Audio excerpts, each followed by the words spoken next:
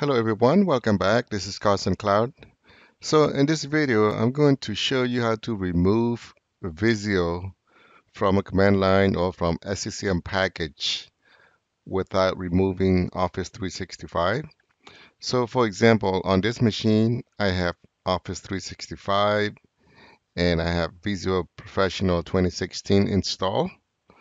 So if I want to remove this from a command line or from an SCCM package, I need to create an XML files. So I have an XML file that I created here. This one, it's called vis. And if I open it up,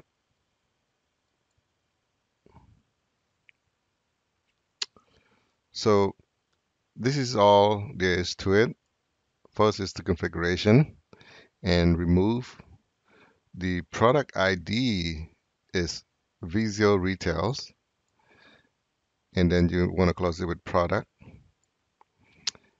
And also you want to close remove with the slash remove here. And the display level, it should be none. If you don't put none, it's going to prompt you to confirm. So make sure you have none if you want to deploy through SCCM. Property name, this is the force app shutdown. If you if the user has Visio open, it's going to shut down the app. So I'm going to save it and I'm going to run it from a command line. So you can create as an SCCM package or you can run it from a command line. So just for this one, I'm going to run it from a command line.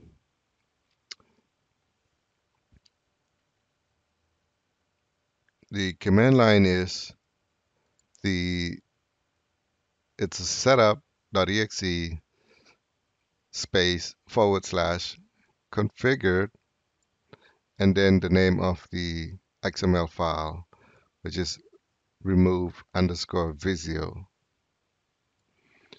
So once I do that, I'm going to click OK.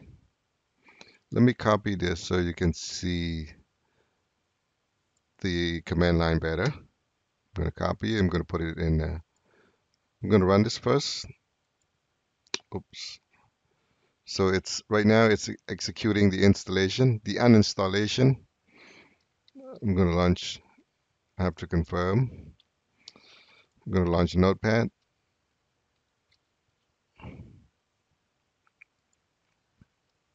So that's the command line. The command line is it's um, similar to the installation command line slash configured and then the XML file. So now it's uninstalling.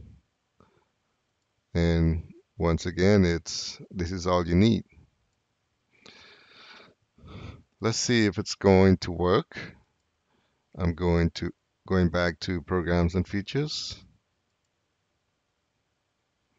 So Visio is still here and this window is still open. So I'm going to give it a few minutes.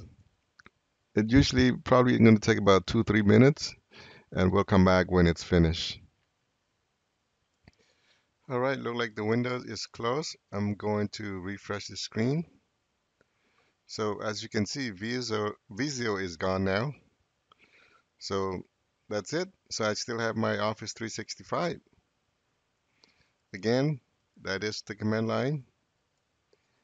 And that is the XML files. This is all you need. Thank you for watching. If you like the video, please don't forget to subscribe and have a great day.